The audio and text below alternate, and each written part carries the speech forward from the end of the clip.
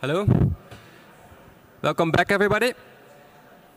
Before we start, I would like to make an announcement that if you signed up for the social dinner, to collect here at 8 o'clock in front of the building, there will be a bus.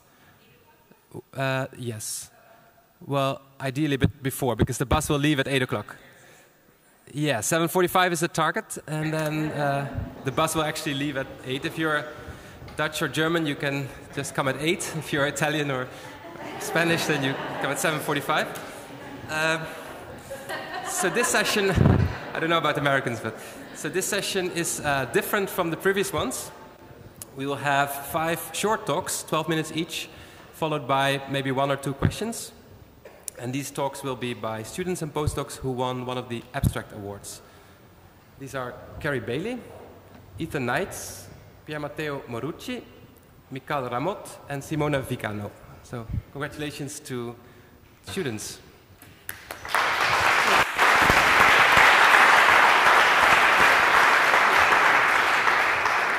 Okay, we'll, uh, this is a, the list was in alphabetical order, by the way. So first, Carrie. Okay. Uh, thank you very much for the introduction. And first of all, I'd just like to say thank you Dr. Ward. Um, it's a pleasure for me to be here today. So today I'm going to be talking about the first study of my PhD, which is on decoding the sound of hand-object interactions in the early smart somatosensory cortex. So to give a bit of background on my PhD, uh, my research is essentially interested in how context and prior experience can shape processing in the earliest sensory areas of the brain. And when I refer to the early sensory areas, I'm talking about the primary areas of cortex, like primary visual cortex, primary smart somatosensory cortex, and primary auditory cortex and I'm interested in how prior experience can shape processing in these areas. So there's two different ways that we can look at this. So first of all, there's the feed-forward pathway. The feed-forward pathway is very stimulus-driven. For example, you could see a visual stimulus in the real world, and this would enter the primary visual cortex before being sent up to higher level areas, which process the information in a more complex manner. However, it's also important to um, take into consideration the feedback pathway. And this pathway allows for a way for prior experience in the current context to shape responses in these early sensory brain areas. And this ties in nicely with the theory of predictive coding. So the theory of predictive coding essentially states that all regions of cortex are continuously predicting upcoming input based on our prior experience of the world.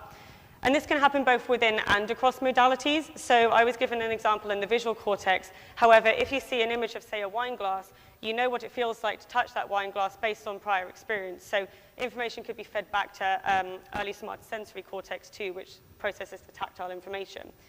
And this was found nicely in a study in 2015.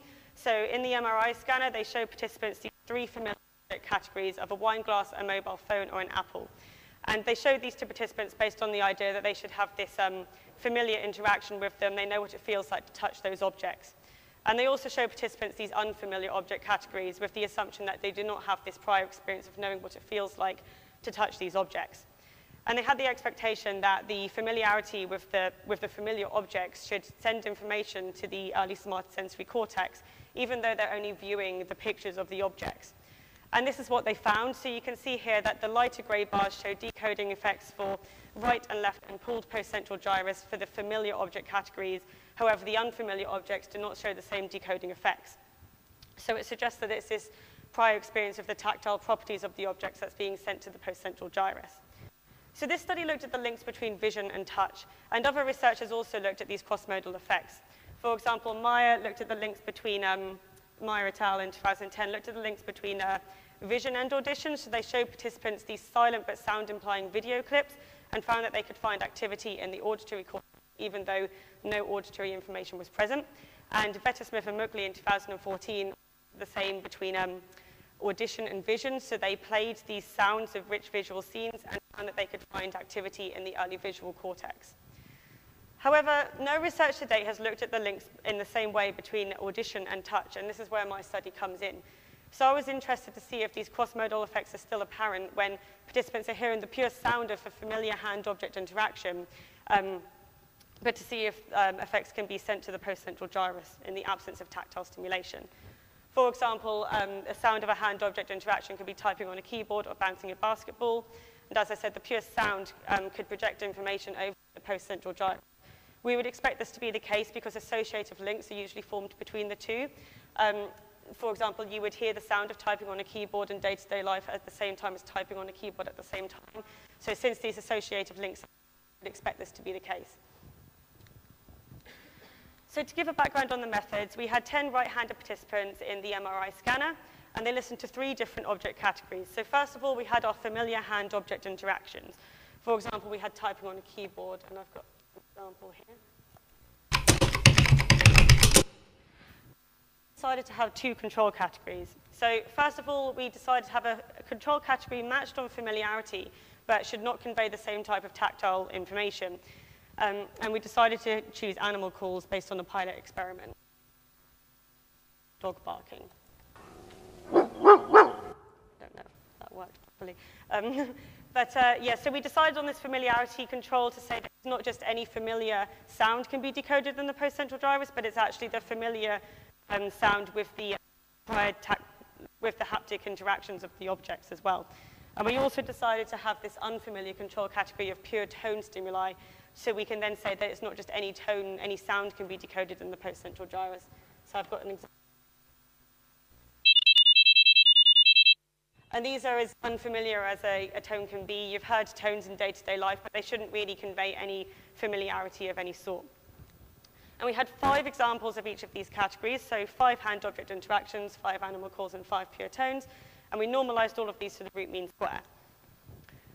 In the scanner, participants performed a one-back repetition counting task, so they counted how many times they had the same sound repeated twice in a row, and then they verbally told us at the end of a run how many repetitions they heard. This therefore eliminated any need for a motor response. Therefore, if we find activity in the postcentral gyrus, it could be claimed to not be due to the task at hand. And participants were fixated on a central fixation cross for the entire experiment. At the very end of the experiment, they completed this independent finger mapping localizer. So we attached these stimulator pads to the um, index finger, ring finger, and palm of the right and left hand of the participants, and they just vibrated on their hand so we could localize the hand-sensitive area in the brain. So to define the post-central gyrus, we did these hand-drawn anatomical masks. So an example of one participant can be seen here. We've got left and right anatomical masks of the post-central gyrus.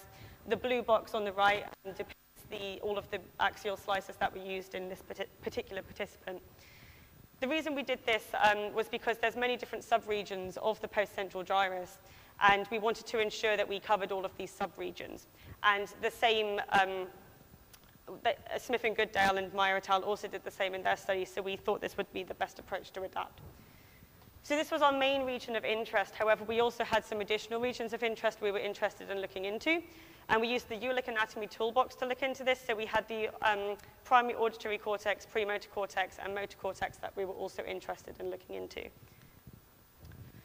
So back to the research question. We're interested in whether we can decode the pure sound of a familiar hand-object interaction in the early somatosensory cortex. So we had our five different hand-object interactions, the sound of typing on a keyboard, knocking on a door, bouncing a basketball, crushing paper, and sawing wood. We're interested to see whether the pure sound of, this active, of, of the, the pure sound of these hand-object interactions could elicit activity in the post-central gyrus. We used multivoxel pattern analysis to see if we could train a classifier to significantly discriminate between the different patterns of activity elicited. So, for example, a pattern of activity could be elicited for typing on a keyboard versus a different pattern of activity for crushing paper. And the, the classifier, um, we claimed, we We predicted that the classifier would be able to significantly discriminate between the different patterns of activity. There should be different patterns since um, they all convey different types of tactile information. We also trained the classifier to do the same thing for our animal calls. So again, we have five different categories of animal calls, and the same again for the pure tones. However, we would not expect this to be the case since both of these categories do not really convey the same type of tactile information. So to move on to the results, first of all, looking into the primary auditory cortex, we'd expect to find very high decoding effects because it's an auditory study, so the auditory cortex should be able to decode which sound was heard. And indeed, we find this to be the case. So you can see here the chance line is at 20%, um, as there were five different categories and in each condition. And yeah, strong decoding effects for hand-object interactions, animal calls, and pure tones. And we actually find a really nice effect where the pure tones are actually significantly higher in the right hemisphere than our other two categories, which a low-level model of auditory cortex function would expect as they don't really convey any other type of information or familiarity. Moving into the post-central gyrus, we find some really interesting results. So first of all, we looked into our hand-drawn anatomical masks as a whole, and you can see here that we find significant decoding activity in the right, the left, and the pooled right and left post-central gyrus only for the hand-object interactions. So we do not find any significant decoding in this area provide control categories of animal calls and pure tones. It's only hand-object interactions, which really just suggests it's this tactile information that's being sent over. And then we looked into the finger selective voxels. So from that localizer in the scanner, um, we, we took the top 100 most selective voxels from this finger pad localizer and did the same analysis again. And we see here that we find very strong decoding activity again in the left post-central gyrus for the hand object interactions. And even more interestingly, this is significantly higher than both of our control categories, which did not show significant decoding effects. We also looked into the premotor and motor cortices as well as additional analyses, and we find some similar findings. So first of all, in the premotor cortex, again, you see significant decoding right, left, and premotor uh, um, and pooled premotor cortex for the hand-object interactions. And again, in the motor cortex, we see significant only for the hand-object interaction in the left motor cortex. So again, we do not find significant decoding for the, hand, for the animal calls and the pure tones. So just to summarize, this study has found that hearing the pure sound of a familiar hand-object interaction can elicit different patterns of activity in the early somatosensory cortex.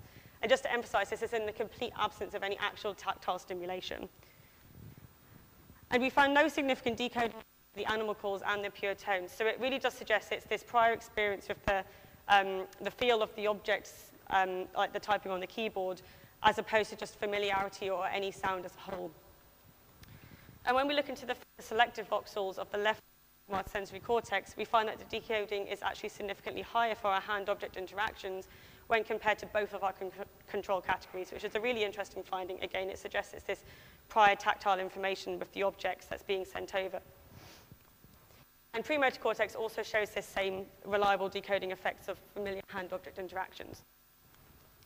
So overall, this suggests that cross-modal connections from audition to early somatosensory cortex can transmit this content-specific information about familiar hand-object sounds. And this ties in really nicely with the study by Smith and Goodale, who found the same thing between vision and touch, but we have now found, replicated the study to an extent, but from audition to touch instead. And just to summarize, this is broadly consistent with the theory of predictive coding.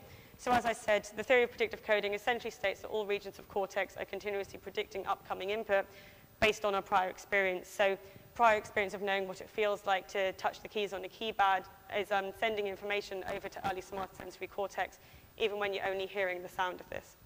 So thank you very much.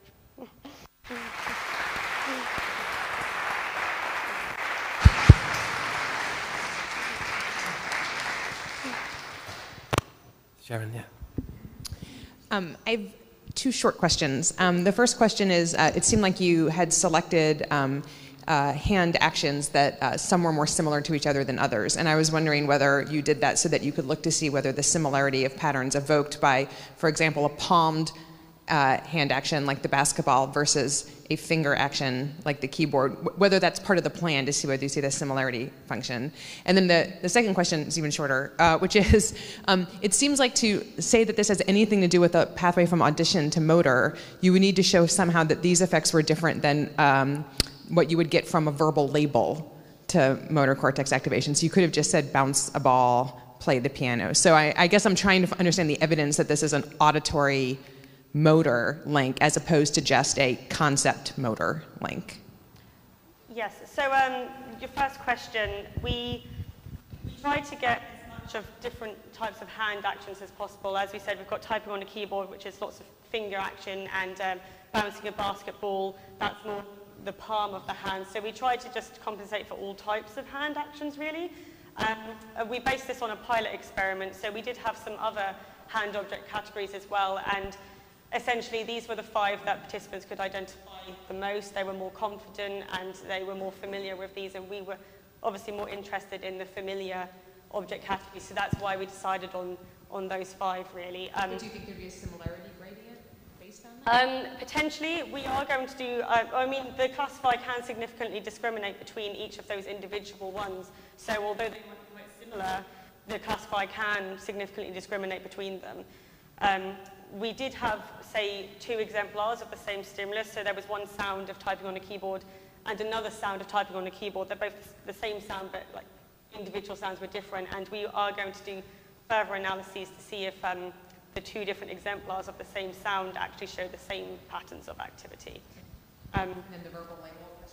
Yes, sorry, can you just repeat that one more time? Oh, so you, you had a conclusion, um, uh, it was your fourth bullet point, I think, on your final slide, or, the, you, uh, no, sorry, the next one, fifth bullet point, cross-modal connections from audition to early somatosensory cortex. So I guess I'm wondering what the evidentiary basis is for that claim from your data, because it seems an alternative would be audition to some sort of verbal, multimodal label, uh, you know, so like bouncing a ball, that's how you communicated it to us, bouncing a ball, and then from that to somatosensory cortex or motor cortex. So I guess I'm wondering why you think it's mediated directly as opposed to via a abs- more abstract representation.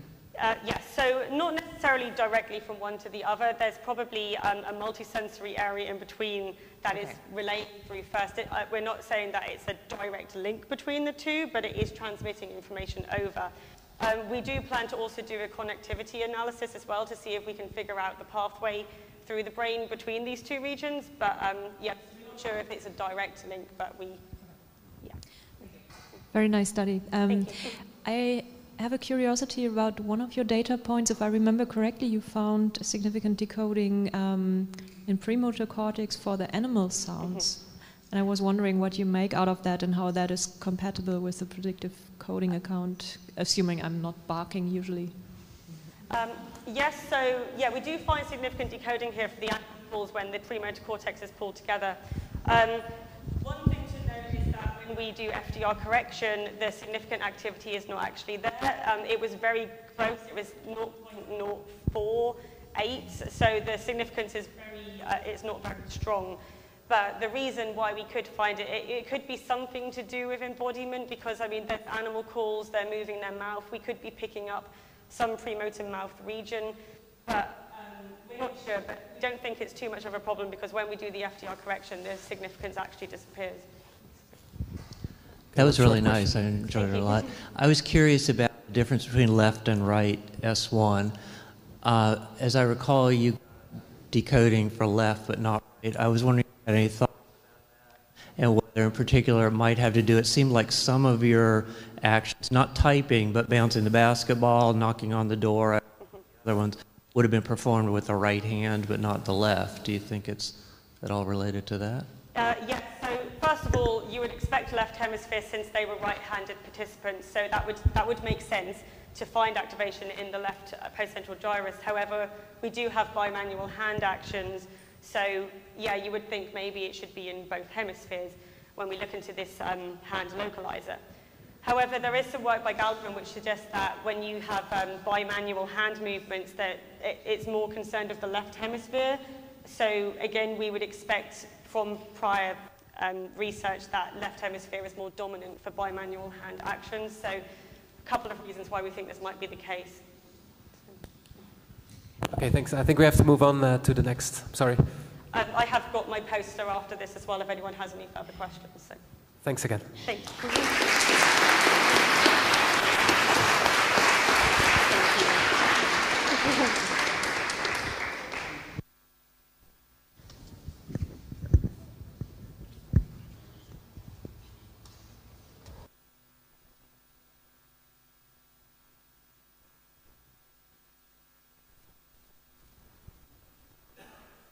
Okay, next speaker is Ethan Knights. Hello. Oh, can everyone hear me? No? Hello?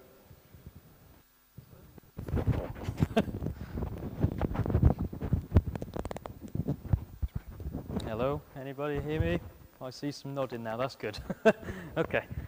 So thank you for the introduction, Marius, and thank you for inviting me. It's a real honour.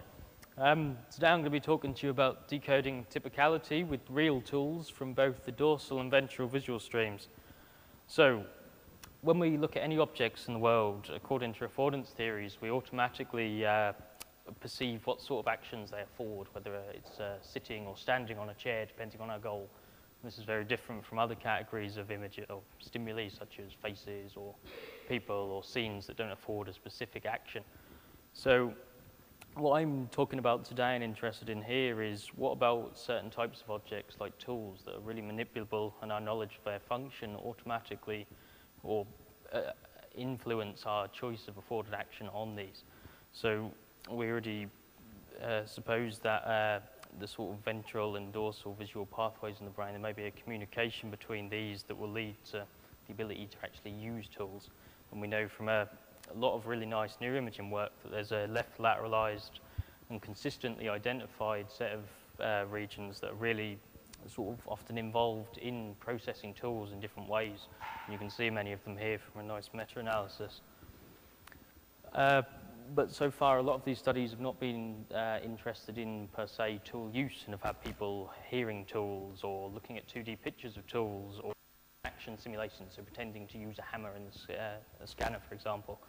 And a lot fewer studies have actually had people looking at a real 3D tool or actually interacting with a real 3D tool. So this is what I'm interested in and what I'll talk to you about today. So we're interested in which brain areas may represent typical grasping of a real 3D tool. So when I talk about typical grasping or consistent use, uh, our participants are in the scanner and they are uh, interacting with a way that's typical, atypical. So you can see uh, grabbing the handle is this sort of affords the next action, right? Whereas in the atypical condition, grabbing the business end, so it's not consistent with its use. Uh, we did with three different 3D printed objects. Objects were naive to this typicality manipulation. So participants simply hear left or they hear right. And uh, what's really important about this is when we come to our analyses, we don't want to just be coming up with uh, different sensitivities or increased activity in regions because it's related to reach direction, so left versus right. So what we've also got is our participants grabbing uh, 3D printed non-tools as well. So here, I hope you'll agree with me that grabbing these non-tools on the left or right side won't evoke such a strongly sort of motor affordance, like a well-learned action. So these objects uh, are designed to share features so that uh, certain kinematic processes are controlled, such as grip aperture, reach distance, so people are grabbing where the black marks are on the object, as well as elongation. So to do this in the scanner, we have a large turntable apparatus that participants lay in, and they have the object presented in the table over their waist, and they can then reach out and actually interact with these objects. Importantly, the head is tilted upwards so that participants can see the objects without any need for mirrors, so it's a bit more natural. And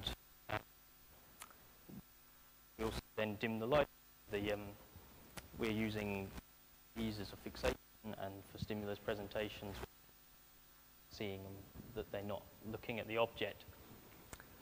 Importantly, we've also got some cameras pointed at the eye and the hand to ensure that people are doing what we're hoping they're doing.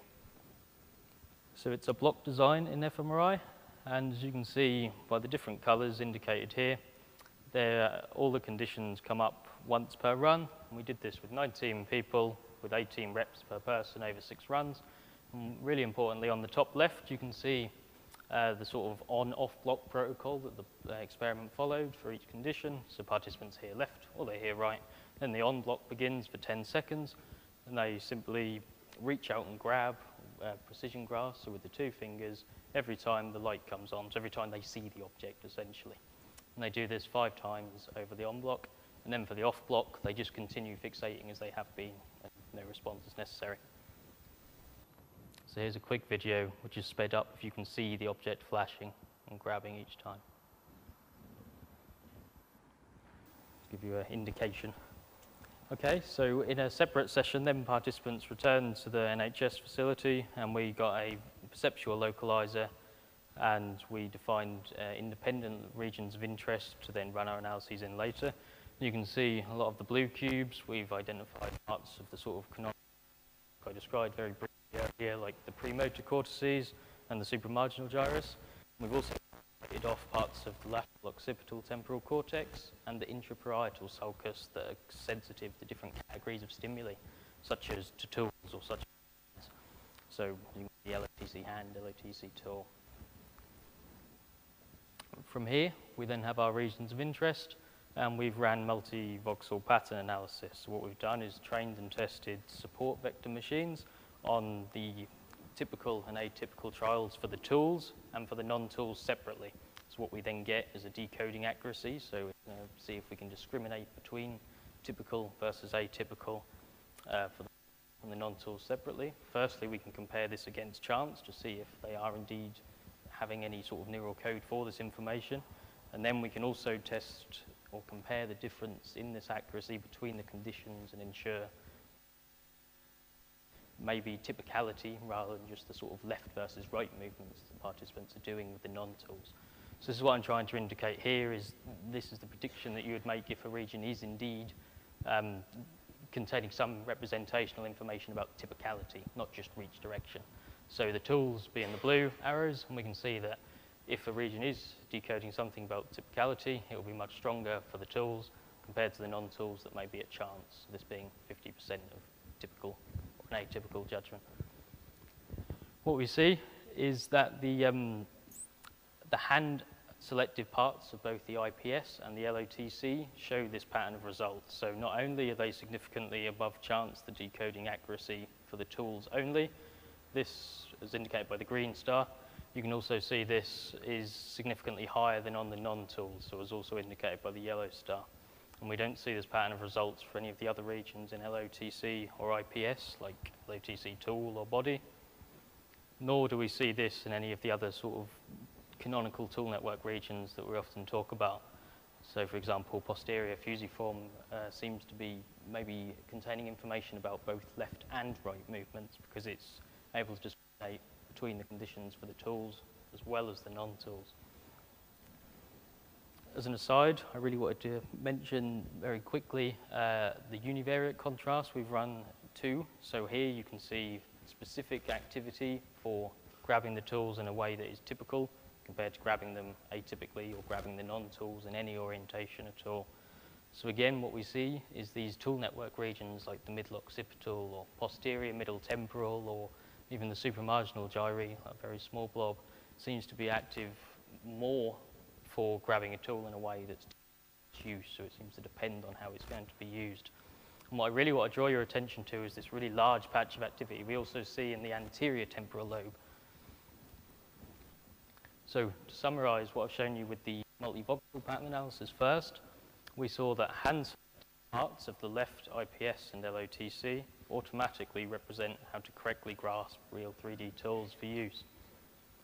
So what I think is quite interesting is that occurred in naive subjects, so the affordance information automatically evoked. Participants weren't these after being instructed to grab them, to use them in a certain way.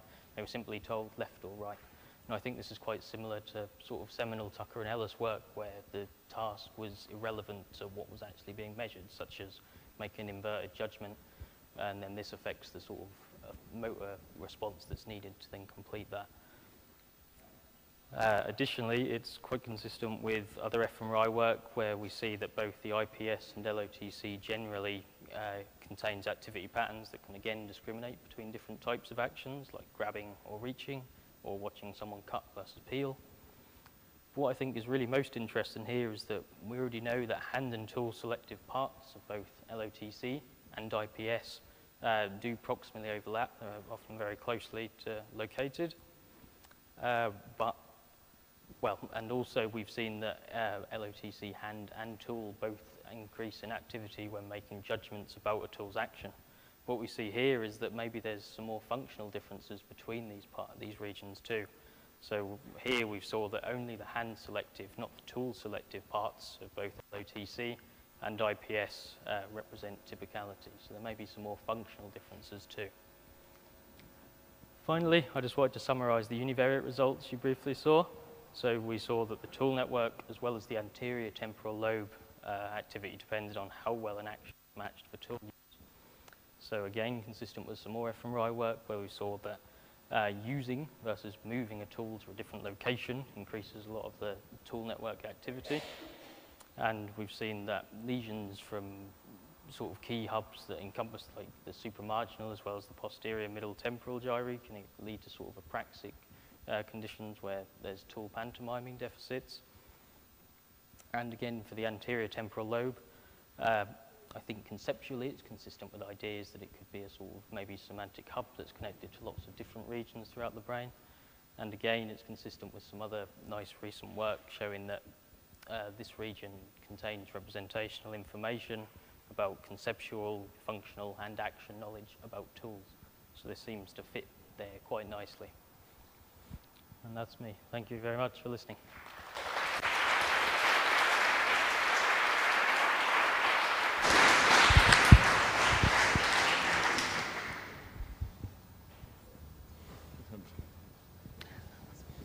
Was there someone else first?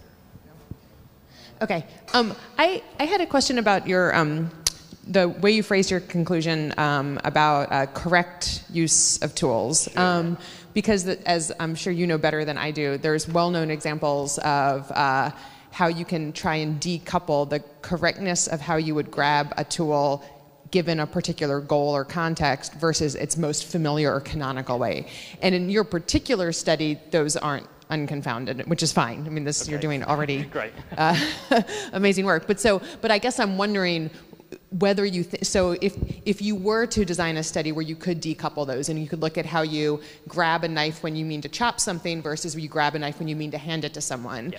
um, whether you think this is about the correctness or whether you think it's about the familiarity sure i completely agree with you like the sort of idea that maybe there's differences between like stable and fixed or flexible affordances that yeah we could use a tool to do many different things depending on our goal. And maybe uh, maybe correctness wasn't the best term I could have used there to say how we're interacting with it.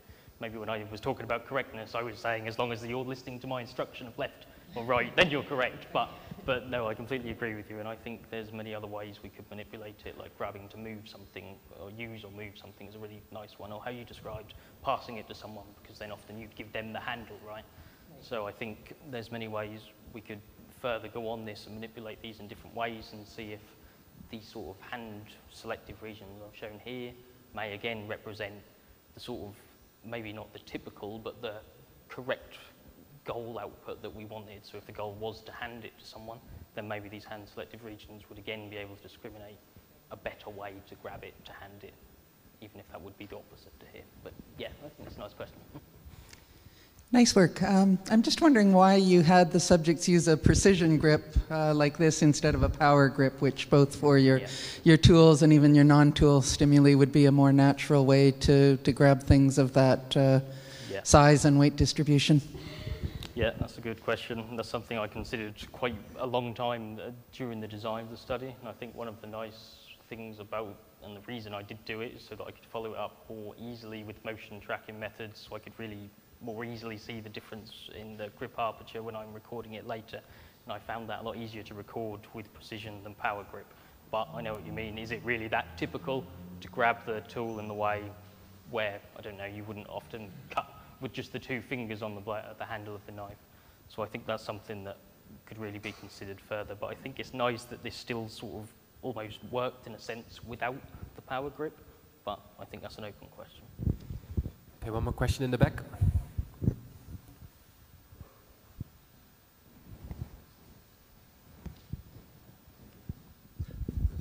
Very nice uh, project. But are you sure there is typicality you're distinguishing and not uh, asymmetric types of grasps for the two types of objects? From the displays you showed, that the type of grip you would do on the right or left of the non-tools seem to be the same, whereas for the tools they are asymmetrical. And so perhaps you're not capturing typicality, but just differences in, in grasp. Yeah, I totally understand what you're saying because this worried me a lot as I was going through when I realized this. So one thing I tried to do was sort of see maybe what I could be decoding for the tools specifically could have been related to, as you say, asymmetrical properties like grip. Uh, so what I did for this was to sort of check whether any a new support vector machine was able to discriminate between grabbing objects that were large versus small, because this was the sort of asymmetrical thing between the tools and the non-tools. And what we see is that where the pink arrows you see here, these are the IPS and LOTC hand that I've been talking about. And it seems as though they're not driven, well, they're not able here to decode significantly above chance, grabbing big versus small. So grabbing, I think, was the pizza cutter versus the spoon. So I think, although you may be right, it may be involved in some way. I don't think that's what's driving these results, that it may be asymmetric. But yeah, it's a really good point. Thank you. Okay, thanks again. Thank you.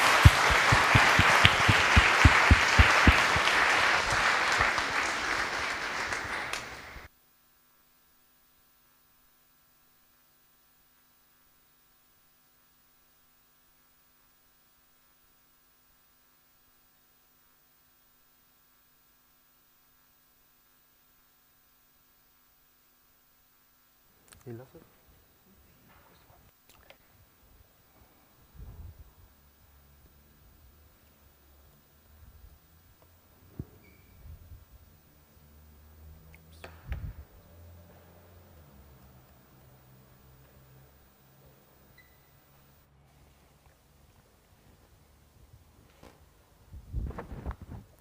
hello everyone.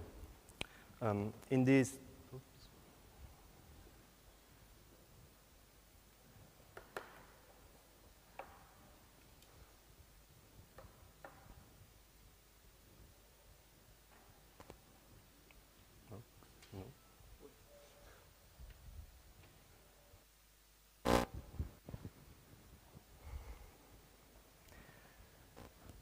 So in the study, we um, investigated how the brain processes the meaning of words, and we did it by focusing on a specific phenomenon that is called concreteness effect. Concreteness effect is uh, a phenomenon that has been found quite robustly in the literature in psychology, and is based on the observation that abstract words, such as freedom, are more difficult to identify than concrete words in terms of reaction time and accuracy. And it has been found in a bunch of uh, cognitive tasks such as, such as lexical decision task, word naming task, and memory task. So why do we have such processing advantage for concrete words? This phenomenon is usually being taken um, uh, in favor of an embodied view of lexical semantics, which suggests that the semantic system and the sensory motor system share the same neural resources. Under this view, uh, word meaning comprehension is based on situated simulation in sensory and motor areas of the brain. So for instance, when we process the word red, we would activate the um, visual cortex that recreate the experience of red through so-called sensory simulation, in this case, visual simulation. And according to this framework, concepts with high perceptual information are faster to process. And abstract words are more difficult to process because of their lack of perceptual information, which makes their simulation and thus their comprehension more difficult compared to um, uh, perceptually based concrete concepts. In cognitive neuroscience, there is also another bunch of theories that provide an alternative explanation to uh, how the brain processes the words. And this theory can be uh, labeled, I think, as a model view of lexical semantics. And uh, this theory suggests that word meaning comprehension is based on the activation of concepts which are stored in a modality-independent fashions. Under this view, concrete words are faster to process because of modality-independent properties of, of their content rather than uh, sensory motor simulation.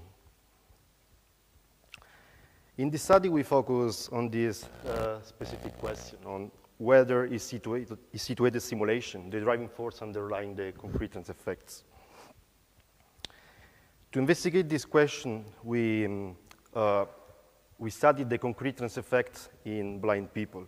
And the reason why we decided to, the, the rationale behind the decision of studying the concreteness effect in blind people as model to investigate this question is that if the semantic system is based on um, the sensory system, on reactive, reactivation of experience in the sensory system, then people with different experience, should also, sensory experience, should also have a different semantics organization. So yeah, the comparison between blind and sighted individuals uh, is our model to, to investigate whether and how the lack of, of a visual modality in blind people affects the organization, the format of the conceptual system. As in previous concreteness effect study, we focus on concrete and abstract words, but differently from previous study, we uh, select two subsets of concrete words, which are concrete multimodal words, which are words that can be experienced through different sensory modalities. So for instance, strong is a word that can refer to a sound, can refer to a smell or a flavor. So it's, it's multimodal in this sense. And concrete unimodal visual words, such as red, that are words that can be experienced only through vision. So basically, mostly color words. This last uh, category of concrete words, visual words, allow us to test this prediction of embodied semantics. So because blind people cannot rely on visual simulation during semantic processing, then their processing advantage for concrete unimodal visual words should disappear. It means that purely visual words should be abstract for blind people. On the other side, and amodal view of lexical semantics would predict that because the concreteness effect relies on modality-independent properties of word meaning, then the processing advantage for concrete unimodal visual words should be the same across the two groups. So we tested 21 early blind individuals and 21 sighted controls. We use lexical decision task and auditory lexical decision task. It is a task in which uh, participants uh, listen to words and they have to press a button when a word exists and another button when uh, the word does not exist and reaction times were collected. Our set of stimuli included 40 abstract words, 40 concrete multimodal words, and 40 concrete unimodal visual words, plus 120 uh, pseudo words. In order to distinguish between uh, abstract and concrete words, we use maximum perceptual strength, that is a measure of how strong a concept can be uh, experienced through, through perception.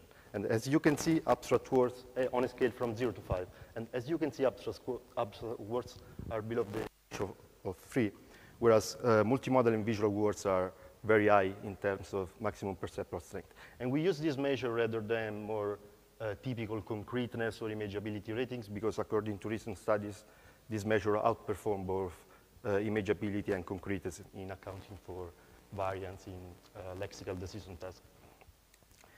And we use modality exclusivity to distinguish between multimodal and visual, uh, unimodal visual words. Modality exclusivity is a measure of the degree to which a concept can be experienced uh, within a single sensory modality on a scale from zero to 100, where 100 is a concept that is completely unimodal and zero is a concept that is completely multimodal. And as you can see, visual words are around 86% of modality exclusivity, whereas uh, multimodal words were below the threshold of 50. And our set of items uh, were also matched across the three conditions for number of syllables, number of phonemes, frequency, familiarity, and other psycholinguistic variables. So what we found in, in Sighted is a classical concreteness effect, effect with abstract word being um, slower compared to both multimodal and visual words. And here we didn't find any difference between these two uh, concrete category of words. And surprisingly, we found the same effect, the same pattern in blind people. So again, abstract word being uh, slower than both uh, concrete unimodal visual words and concrete multimodal words. These results suggest that the lack of visual experience does not, does not impair the processing of words with meaning referring to visual dimension. Thus, the concreteness effect is not necessarily dependent on reenactment of visual experience. And these results also suggest that modality-independent properties of words meaning may be the driving force underlying the concreteness effect.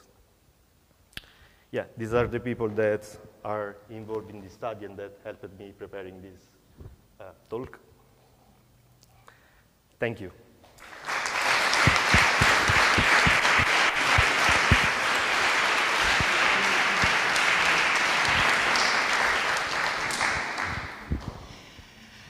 Thanks, that was great. Um, and before I ask my question, I should say that there were 10 of us at lunch who spent an hour debating what words like abstract and amodal and multimodal meant.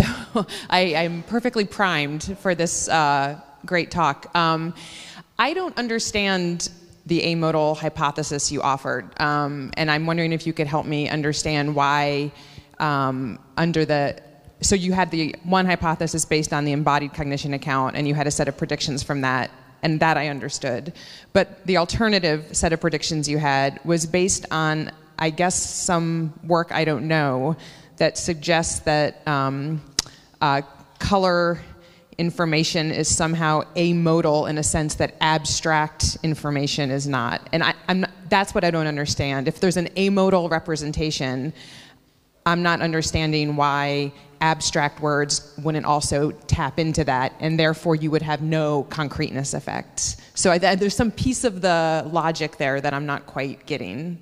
So, well, I think I think this. Um, yeah, this study tests the, the hypothesis of embodiment that the difference between concrete and uh, abstract words is based on the amount of, of perceptual information.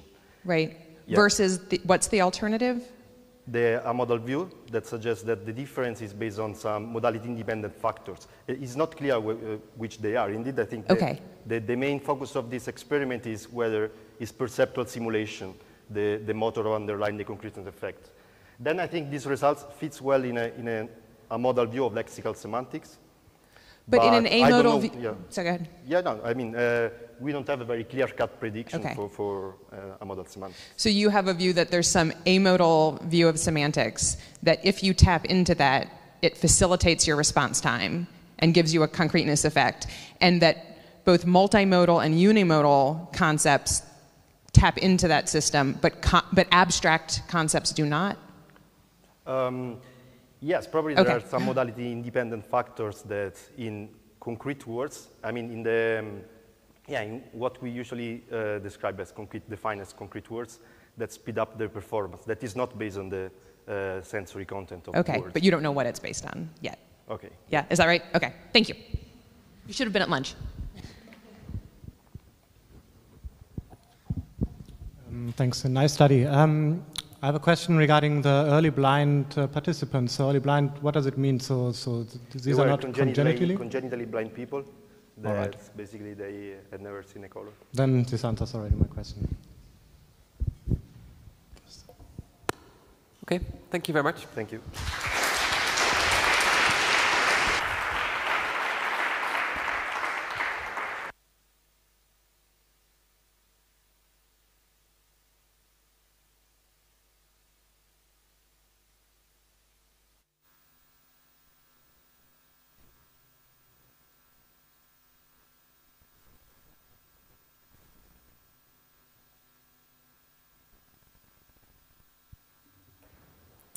Next speaker is Michal Ramot.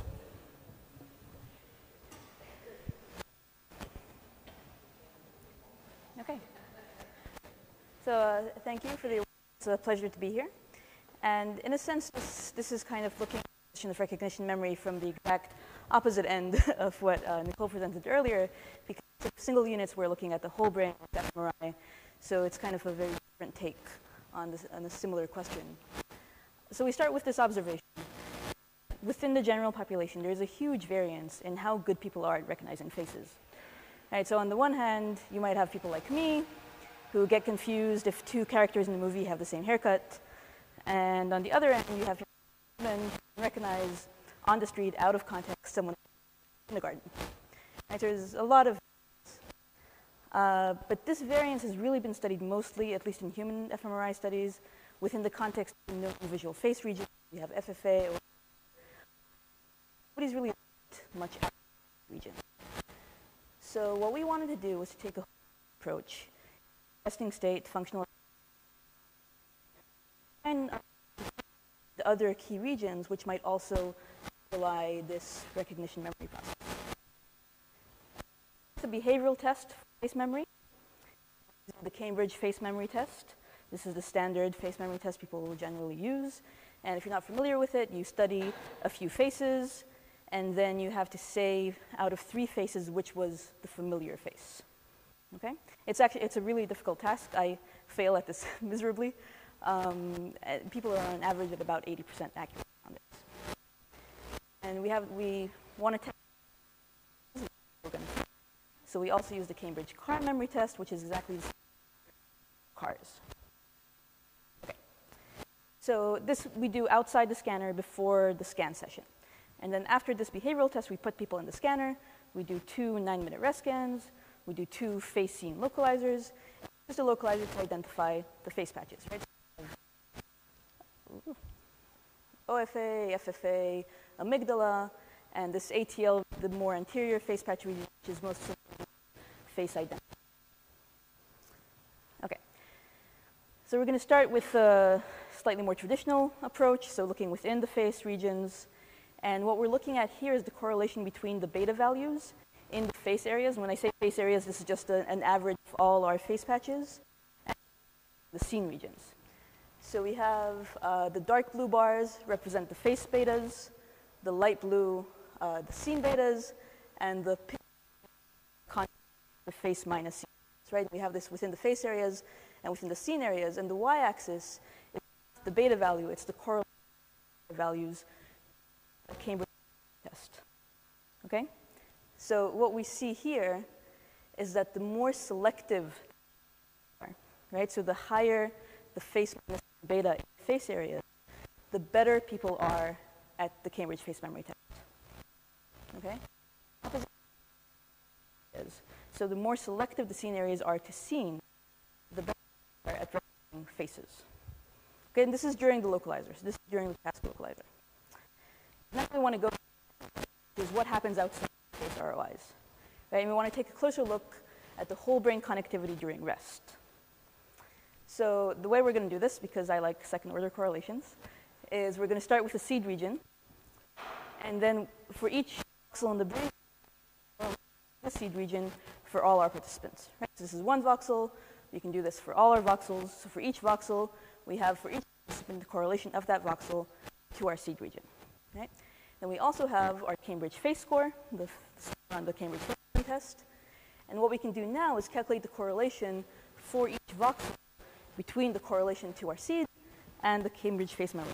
Right? So for each voxel, we get a single value, which is really how predictable the correlation in that voxel is to ATL or to our seed region performance on the face memory test. Okay? So we do this for each voxel, and we get a a value for that. These are the values that we're interested in. Okay, so all the analyses I'm going to show from now on, all the maps I show, these are the values in the maps. It's this correlation of correlations. So we're going to start with the ATL seed. So we did this for all our, we looked at all our visual face seeds. Right? I'm on ATL because that one had by far the most extensive uh, effect. And what we see is, for starters, so this is predictive the correlation of these voxels to ATL is for performance on the face memory test. So we don't see the other face patches so much, right? They are missing. What we do see are these somatosensory regions, right?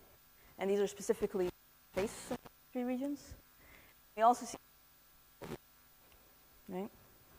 And now if we look at the volume, just so we get a better sense of what's going on, we have and this is the parahippocampal region that we defined. So what we're going to do now is expand our network. Right? So we started with the face seeds, and now we're going to define more seeds that are behaviorally relevant using this connectivity analysis. And because we have two REST scans, the way we're going to define them on one REST scan, and then we're going to test them on two REST scans, so we have an independent data set.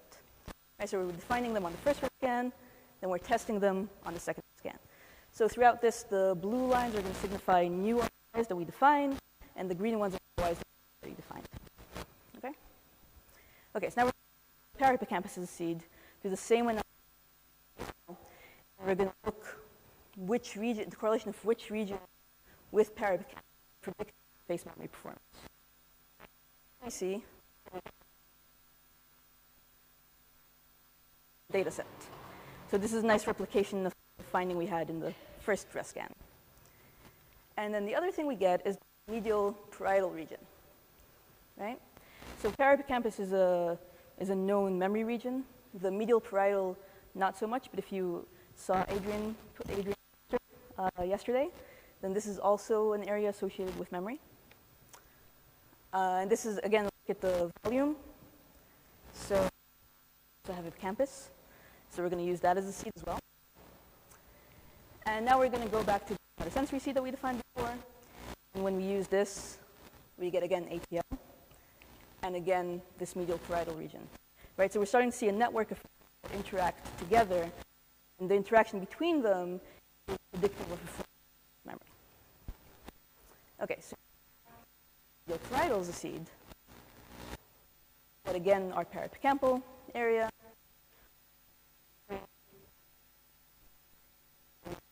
The campus. Right, so we have all these areas kind of coming together. So finally, we're going to look at campus. And here we have very widespread uh, correlations, or predictive correlations, right? So, but some of the same coming up. So we have the medial parietal region, we have the campus, uh, and this is just looking at the volume just to see how extensive this is. Okay, so now what we can do is we can our, right, all the start with and all these new ROIs that we defined from the cognitive analysis, and look at the how predictive connections are.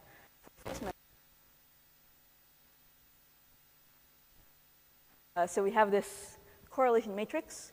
And this is again second order correlations, so these are not the correlations between the areas, but how predictive the correlation between these areas are of performance on trace memory. And this is the full correlation matrix. We're going to look at this, which is the p-value matrix, and maybe unintuitively green is more uh, significant than red. And the first thing you see is that what is really missing are the correlations between the face patches. They're not actually that predictive of performance on the face memory task. Most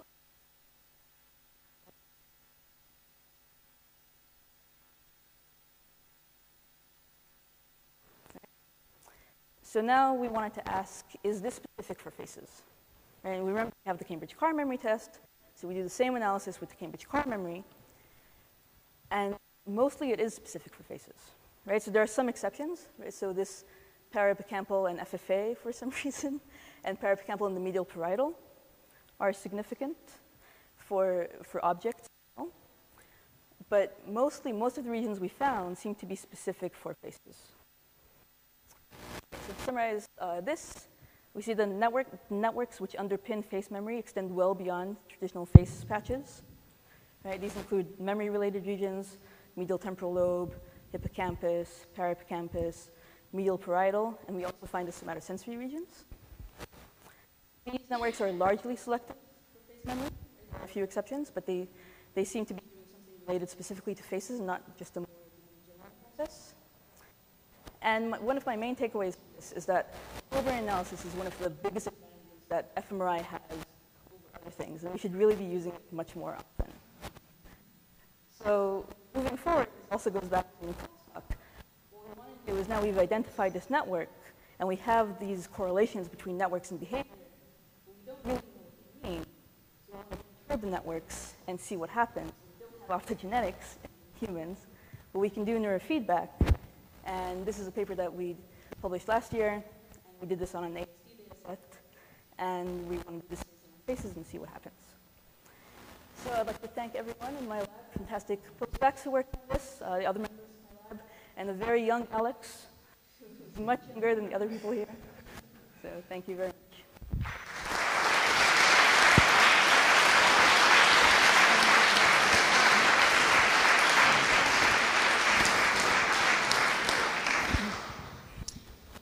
So that's really, really exciting. So uh, could you just tell us, tell us two sentences more about the ideas for neurofeedback? So, so the idea is you're changing the images on the screen dependent on brain activity, or what is it? Yes, neurofeedback happens to be my favorite topic, so I can talk about it a lot. Um, what we're doing with neurofeedback is an implicit neurofeedback. The rewards are orthogonal to whatever we're training. So what we're doing is measuring a network. We're aiming for a specific network state and then when we see that network state, we reinforce it. And the reward has nothing to do with the network. So in this case, we, it's hard to move away from visual reward because it's the most rewarding. So we are using visual rewards, but they have nothing to do with faces or objects. They're very abstract. And it's just that whenever we see the networks that we want, we show a piece of a puzzle, right? And they, their task is to finish the puzzle, and they get very excited about it. They get a score. They can try and improve. And but it, it's really just directly reinforcing the network that we want to change. And that's the same thing we did before, and it works. So. Very cool. Am I next? Um, I have two statistical questions, but first a comment, which is either your face recognition is way, way worse than you uh, self-described, or you have two people that you work with called Jason Crutcher. Oh. I'm just Sorry. teasing you. Sorry, so, okay, but my my real my real it's question. Jason Avery. I'm sorry. Um, my so my question. So the first is um, when you showed the car, um, the matrix of uh, correlations correlations with the car. I wasn't clear if what you were showing us was um, another thresholded uh, matrix of correlations between correlations, or whether you were showing us pairs of regions where the difference between the face and car correlations was significant. Could you just clarify if you did that statistical test? No, I haven't done that statistical test, although uh, I, have, I haven't done it yet, but I'm sure it'll be significant because there are no correlations. I didn't show you the full correlation matrix, Yeah. but they're basically zero. Okay. In all the other regions, and they're very strong for the face Okay. But no, this was Okay, that was just another thresholded. Same. Yes. Okay. And then my second question um, is in thinking about the null results you found about, you know, you commented a couple times that the face-face correlations weren't predictive of behavior. Um, there's a- lot of reasons why that could be, but one could be that they, those correlations tend to have more of a restricted range across your 30 or so participants, in that they might be really high. In other words, if you have two regions of the brain that are very highly correlated in your resting state data, then there wouldn't be enough variation to detect covariation. Another possibility is there's equivalent variation and it's just not predictive. How do you how do you suss out which of those two it is when you when you're looking at these second order correlations? Right. So that's, a, that's an interesting question. What I, what I didn't show because I don't have time to show was we also showed them a movie. And if we do the same analysis during the movie of during rest, then the face-face correlations do become significant. So it might be something, so it's not just, I think, variation because they're probably more correlated during the movie than during rest, although that's an interesting question. I'll have to check that. Um, but yeah, like it, it could go either way. So uh, I'm not, yeah, it's a, it's a difficult question. I have to think about it, how you know if it's just there's, they're too highly correlated and there's not variance.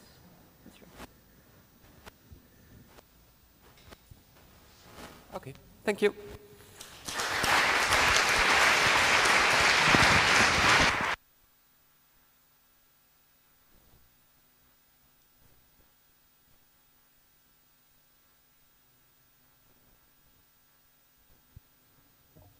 So our last speaker of this session is Simona Vigano.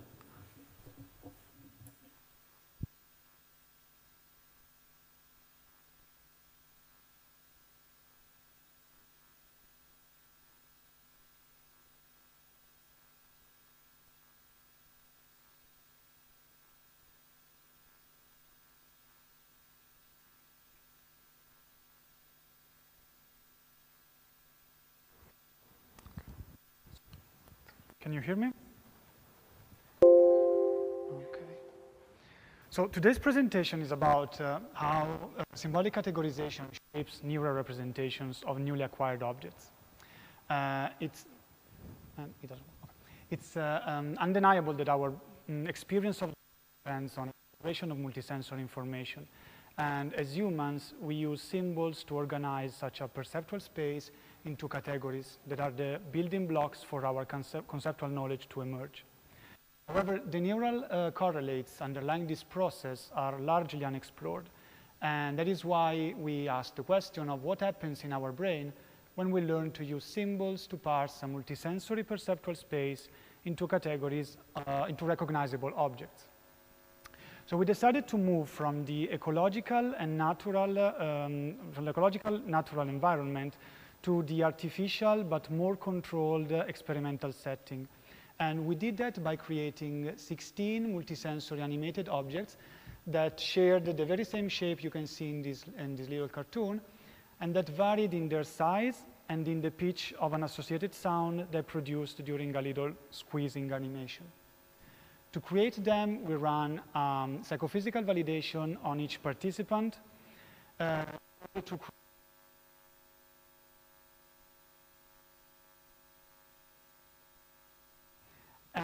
and uh, mm, we crossed the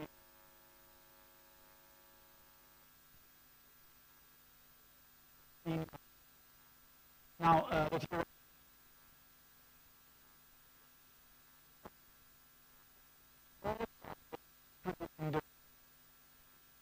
Then we divide this uh, perceptual space into four categories. Okay. by adding two uh, sensory boundaries, one along sides and one along pitch, and uh, we gave to each category an abstract or novel name. So for instance, now object is an exemplar of the category. We twisted for nine days uh, in order to make them learn these object name association. And uh, crucially, we collected the neural correlates evoked by the presentation of both objects and names before and after learning. Uh, for time reasons, I won't go into the details of the training, uh, but feel free to ask me if you are interested. Uh, during both fMRI um, sessions, participants were presented with uh, uh, a pseudo-random sequence of objects and names. And they performed two kind of tasks. During the first fMRI, they just performed a one-back task on stimulus identities, meaning that they had to press a button anytime they detected an immediate repetition of the very same stimulus, no matter object or name. During the second fMRI day, besides performing again the same task, on different runs, they performed a one-back task on category identity, where they had to press a button anytime an object was preceded or followed by its name. And we introduced this task because we wanted to uh, amplify, at these early stages of learning, the access to categorical representations. Uh, all the uh, neuroimaging results I will um, show you in the next slides refer to the category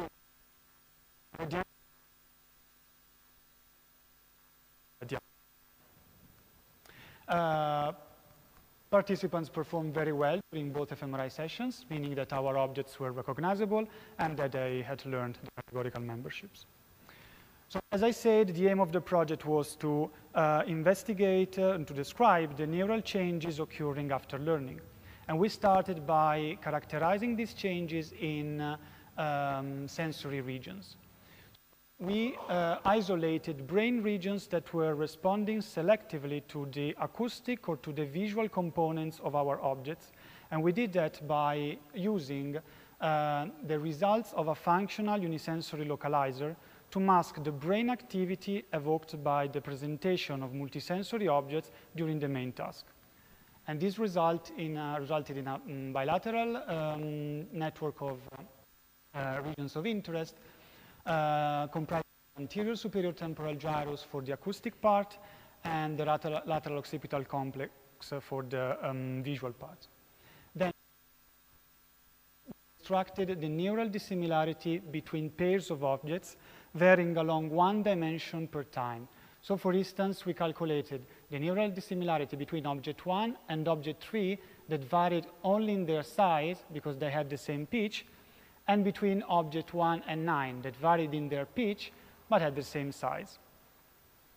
And we showed that,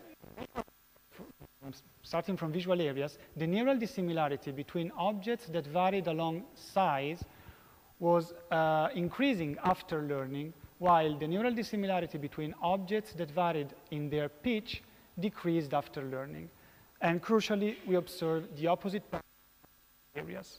That means that these sensory regions, after learning, increase their sensitivity to the preferred sensory modality and decrease their sensitivity for differences along the non-preferred one. Thus, in they showed sensory segregation.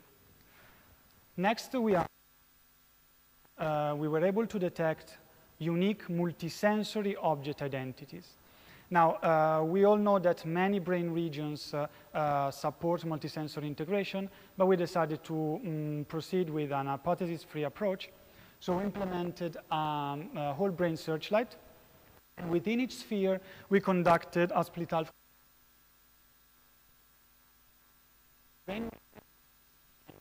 unique multisensory object identities as the unique combinations between a size and a pitch level that before learning, there was no local such a after learning in the left angular gyrus. And this was quite surprising because, first of all, the behavioral performance in the scanner during the first day was high, as I showed you in the previous slide. And secondly, because the, the um, average univariate activity uh, in the left was Gyros was already high before learning, and the difference between the two sessions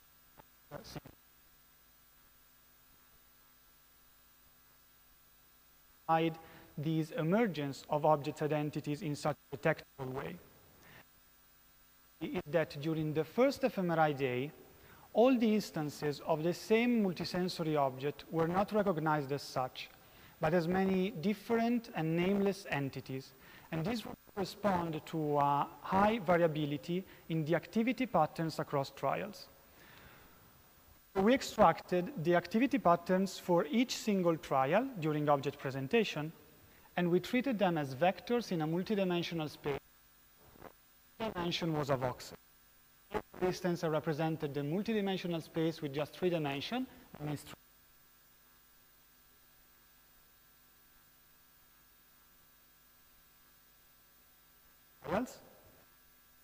Index of that means patterns of activity evoked by different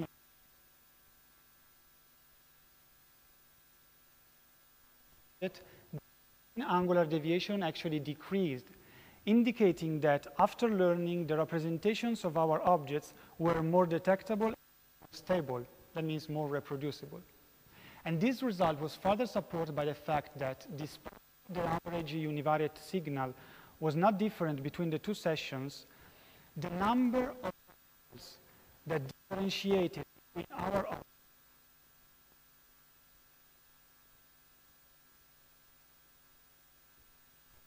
uh, as, the, um, uh, as our learning was symbolic in nature, we predicted that these neural of objects um, were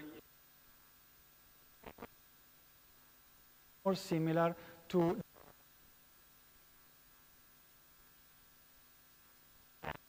that we implemented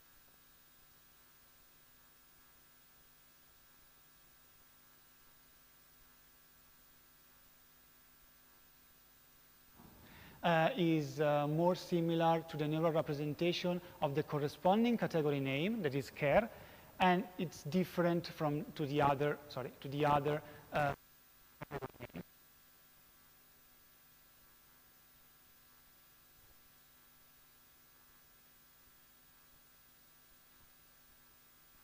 to highlight two important controls we implemented. So first of all, uh, we tested whether these effects interesting the whole brain or they were regional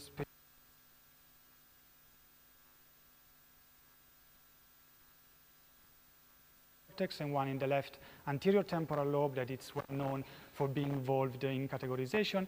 That didn't show the same changes.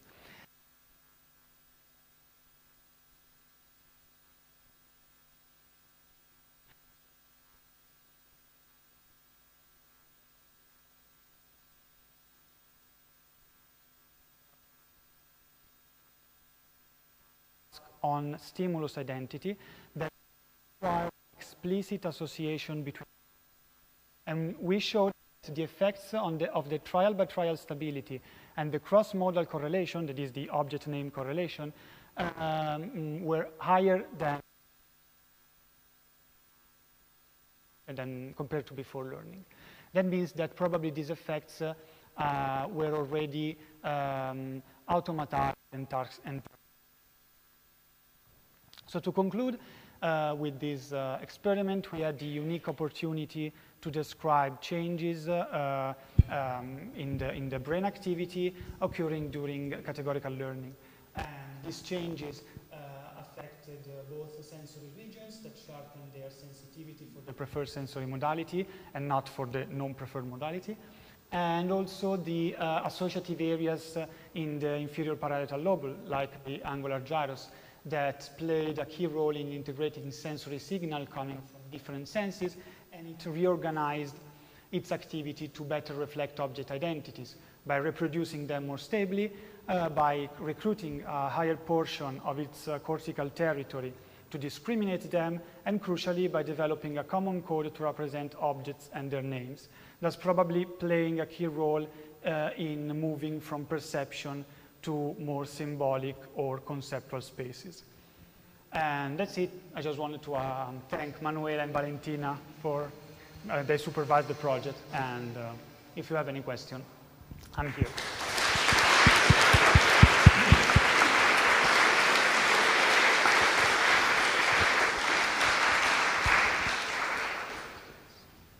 Are you sure you don't want to go first, Sharon?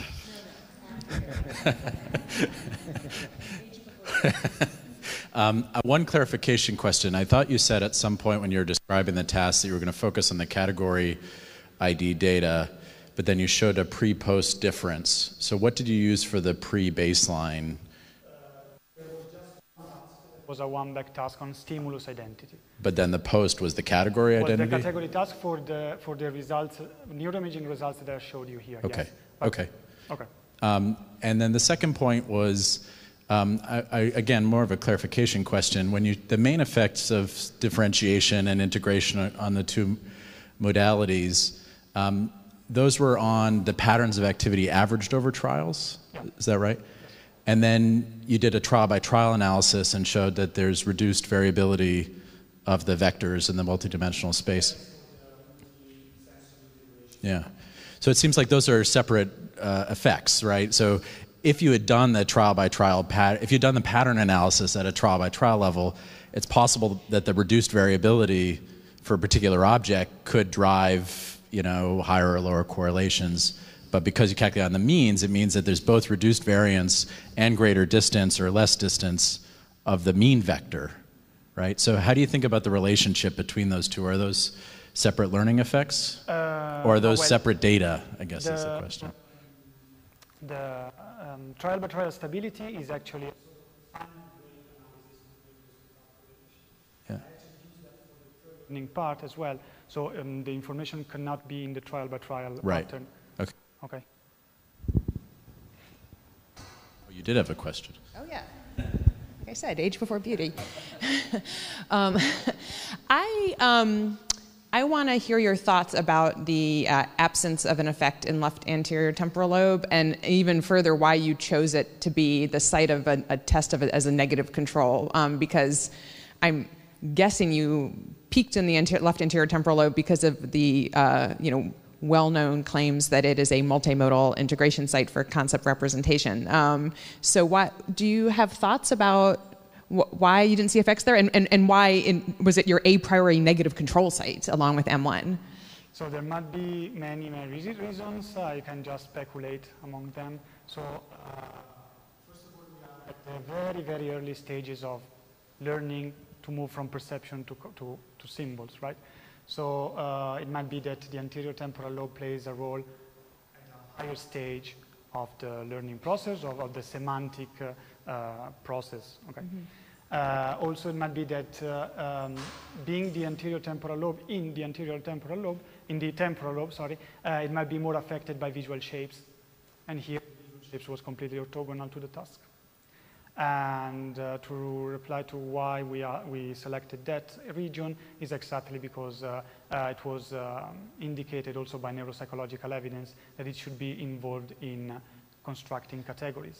But then why choose it as your negative control site?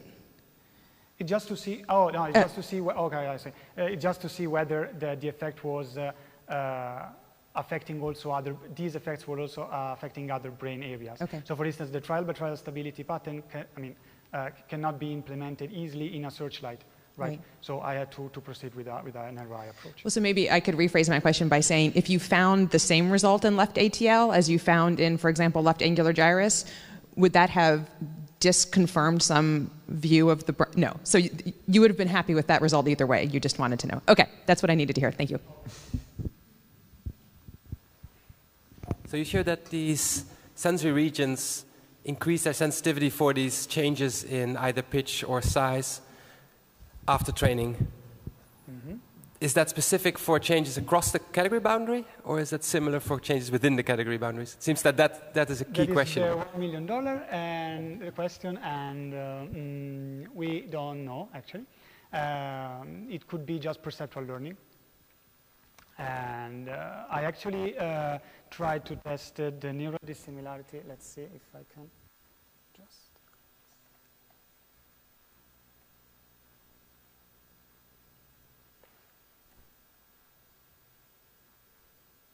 Hmm.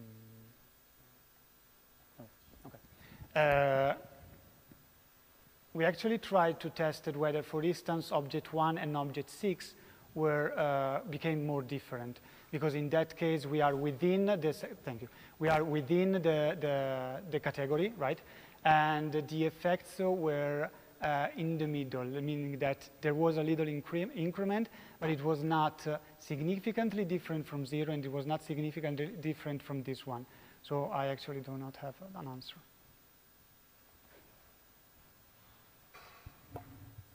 Okay, thanks. Thanks to you. Thanks to everybody.